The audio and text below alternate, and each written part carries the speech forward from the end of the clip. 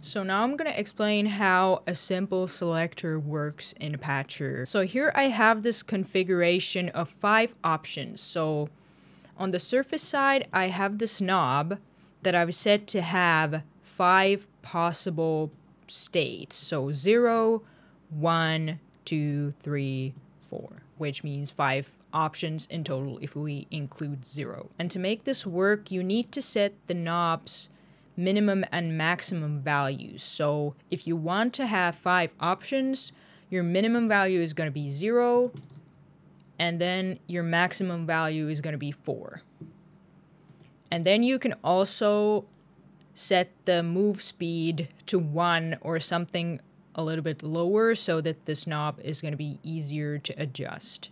And after we have the knob set up, I've just loaded some instances of fruity balance in here, but these are your options. Like these could be effects, synths, like what whatever whatever kind of option selector you want to make, you can do that. So and here in fruity balance, I've activated the volume knob. And the way that this is supposed to work is that when this knob is at zero, this first option is going to go to full, so to 100%.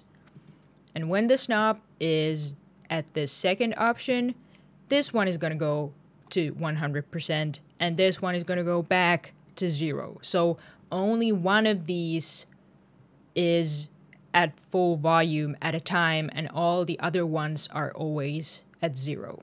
And to make this work, we can use the formula controller. So I have this set up here. So we're going to divide the knob into percentages. So this first knob right here, we're going to activate the A input, which I have activated here, and then you need to activate an output. And in the formula controller, I have this if statement, and this basically means that if A is equal to B, it's going to return 1. And 1 in this case means that this volume is going to jump to 1 or 100%. And in the formula controller, the A knob obviously represents whatever this knob is doing. So these are connected. As you can see, it'll change when I move this knob. And then the B knob's job is to specify at which percentage these individual fruity balances are going to go to the 100%. So in the first option, it's obviously going to be 0. So B is at 0. And when both of these are 0, like this statement tells it, it's going to return 1. So this one is going to jump to 100%. And then over here in the other formula controller, this is the second option. So it needs to be 0.25, so 25%, because this knob is now at 25%.